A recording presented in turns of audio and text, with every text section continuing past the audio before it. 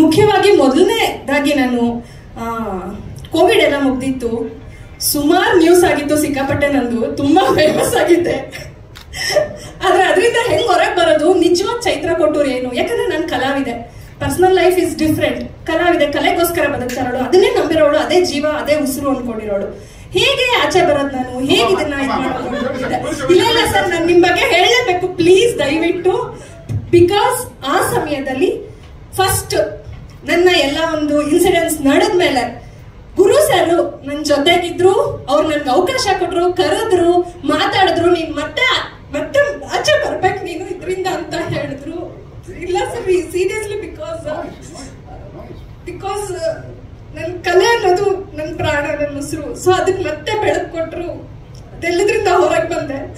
ಪಾತ್ರ ಇದು ಅದು ಅಂತ ನೋಡ್ಬೇಡ, ಲೆಕ್ಕ ಮಾಡಬೇಡ, ನೀನು ನೀನ್ ನಟಿಸು ಅಭಿನಯಿಸು. ಈ ಪಾತ್ರದಿಂದ ನಿನಗೆ ತುಂಬಾ ಒಳ್ಳೇದಾಗುತ್ತೆ ಆ, ನಿಂಗ್ ತುಂಬಾ ಚೆನ್ನಾಗಾಗುತ್ತೆ ತುಂಬಾ ಮುಖ್ಯವಾದ ಪಾತ್ರ ಇದು ಅಂತ ಹೇಳಿದ್ರು. Thank you sir thank you so much so ಮತ್ತೆ ಒಂದು ಒಂದು ಒಂದು ಒಂದು ರೀತಿ ಬೆಳಕು ಕೊಟ್ಟರು ಅಂತ ಹೇಳ್ಬೋದು ಗುರು ಸರ್.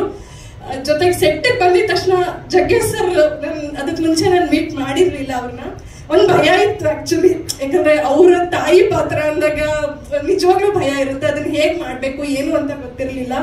ಸೊ ಹಾಗಾಗಿ but Jaggesh sir very comfort very close ತುಂಬಾ ತುಂಬಾ ಸಪೋರ್ಟ್ ಮಾಡಿದ್ರು, ತಮಾಷೆ ಮಾಡ್ತಾ ಇದ್ರು, ನಗಿಸ್ತಿದ್ರು.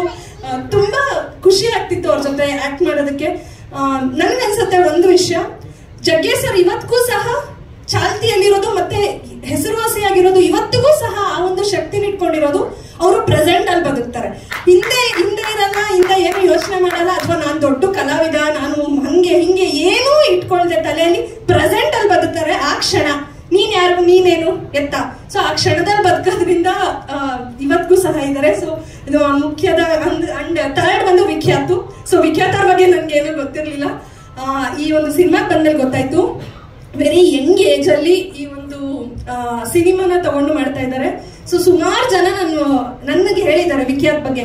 Is my role model inspiration ಅಂತ. ಅಂದ್ರೆ ಅತಿ ಚಿಕ್ಕ ವಯಸ್ಸಲ್ಲಿ ಪ್ರೊಡಕ್ಷನ್ ಮಾಡ್ತಿರುವಂತಹ ಪ್ರೊಡ್ಯೂಸರ್ ಅಲ್ಲಿ ವಿಖ್ಯಾತ್ ನನಗೆ ರೋಲ್ ಮಾಡೆಲ್ ಅಂತ ತುಂಬಾ ಜನ ಹೇಳಿದ್ದಾರೆ. ನನಗೂ ಸಹ ಅನ್ಸಿದೆ. ಸಿನಿಮಾ ಅಂದ್ರೆ ಅವ್ರ ಜೀವ. ಸಿನಿಮಾ ಅಂದ್ರೆ ಅವ್ರ ಪ್ರೀತಿ ಸಿನಿಮಾ ಅಂದ್ರೆ ಅವ್ರ ಬದುಕು. ಸೊ ಇಂತಹ ಒಂದು ಅದ್ಭುತಗಳು ತುಂಬಿರುವಂತಹ ಒಂದು ಸಿನಿಮಾ ಇದು ಅನ್ಬೋದು. ನಾನು ಸಹ ಒಂದು ಅದ್ಭುತ ಅಂತ ಅನ್ಕೊಂಡಿದ್ದೀನಿ.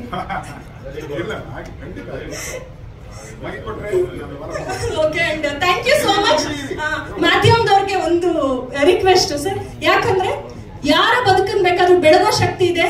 ಅಳಿಸೋ ಶಕ್ತಿ ಇದೆ. ಎಲ್ಲವೂ ಇದೆ ಮಾಧ್ಯಮಕ್ಕೆ. ಸೊ ಹಾಗಾಗಿ ನಿಮ್ಮ ಕೈಯಲ್ಲೇ ಎಲ್ಲವೂ ಇದೆ.